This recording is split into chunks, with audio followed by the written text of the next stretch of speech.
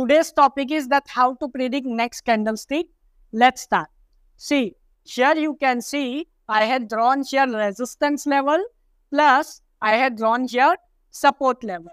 Now suppose if you want to trade after this hammer candle, then how you will place your trade and how you will analyze the market. But before it, if you want to join my one-on-one coaching class, details is in description. Let's start. See, first thing you have to see here that here you can see there is a buyer's momentum. After that, you have to see is there any level here? So you can say that okay, this and this is a level. For example, it's not a strong level, I know very well, but suppose this is a level because from here strong seller center. But you can see here after long candle also market didn't reverse and market made a hammer candle again. You can say this is a hammer candle which is a continuation candle. It means that buyers are very strong here. Now you can see the next level is here. Still there is a gap.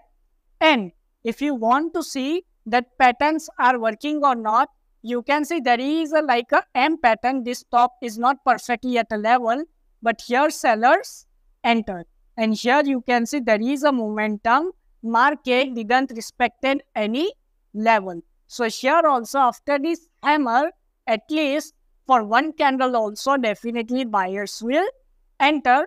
Plus this hammer candle is a continuation candle. That's why after this hammer candle, you have to place higher option trade because you can see the level is here. So this is type of ranging market. In this type of ranging market, you always have to trade in middle or at the level. So the level are far. That's why after this hammer, you can go with buyers. So let me show you what is the next candle. You can see here the next candle is again buyer's candle. Next candle is again hammer candle, but you can see it's a green candle.